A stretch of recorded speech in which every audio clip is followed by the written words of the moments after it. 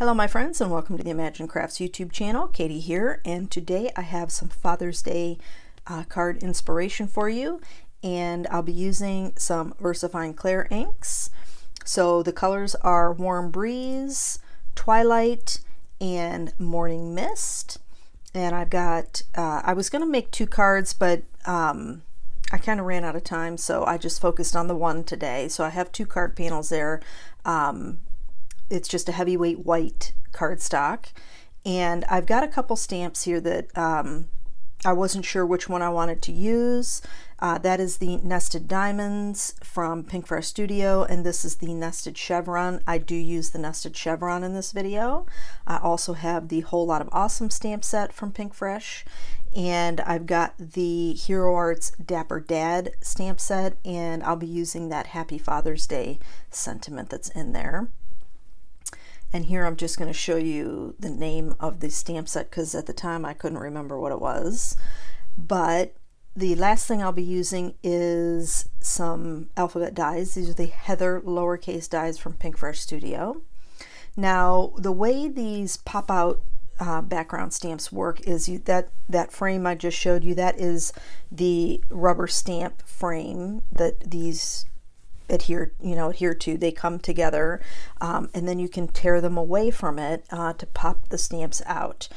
And what's nice about these types of stamps is you can easily do rainbow color you can have different color schemes like I'm doing here which is a blue gray uh, color scheme. So it really just makes it a lot easier to be able to do clean simple stamping um, you know, with, with a rainbow of colors that you might want to use. So to use these, the easiest thing to do is to get your stamp set up like I did, adhered it to the MISTI door, and then I take out the stamp above the one that I want to ink up. So I remove that, I inked this one up. I'm going to uh, really burnish that stamp down onto the cardstock to make sure I get a good impression and get all that ink laid down. I do use my um, StazOn all-purpose cleaner with the dauber. I absolutely love the dauber cleaners. It's ingenious. Um, and then just a baby wipe to clean everything up. And I've had no problems with my stamps using that cleaner. Before I take the one that I've inked up away, I replace the stamp that I had taken away and then I remove the previous one and again remove the one that's above. Ink up my stamp and this time I'm using the morning mist. The first one was warm breeze. And you could have gone with this color scheme just the the turquoise and the gray. It's really pretty uh, but I thought I'd just add in that little pop of dark blue um, which is the twilight. So I'm gonna ink up my stamp in the twilight here and really burnish that down to get all that ink to adhere. Uh, it is a little splotchy in the beginning, but um, VersaFine Clairs dries so quick that uh, it will absorb right into that cardstock and or dry on the surface and really fill in those any little splotchy spots that you might have. So now I'm coming back in with Warm Breeze and then I will be coming in with Morning Mist.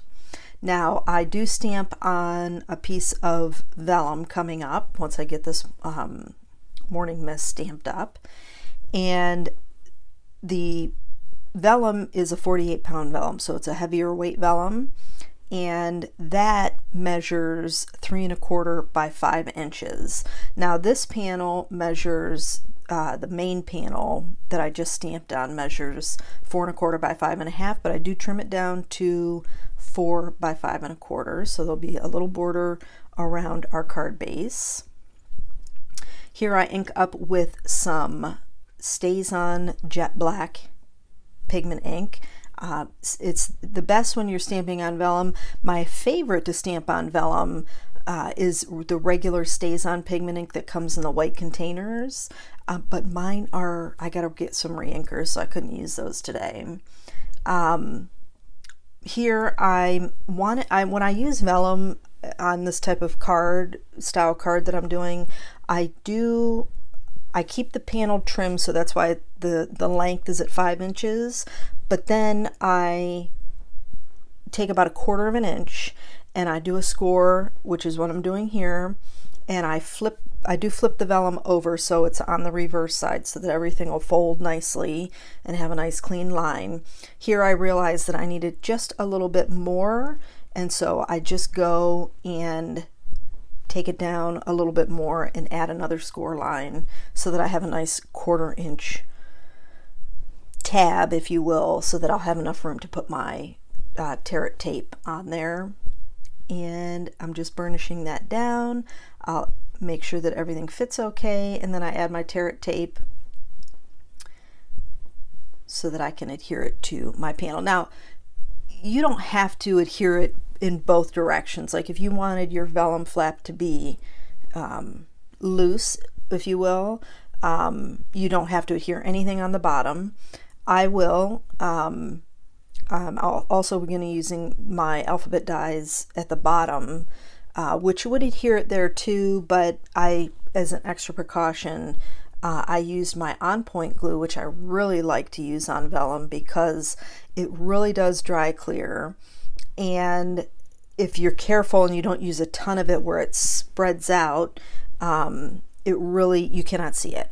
So I highly recommend the on point glue when you're working with vellum uh, because it really does adhere nicely and you don't have you know, adhesive showing through.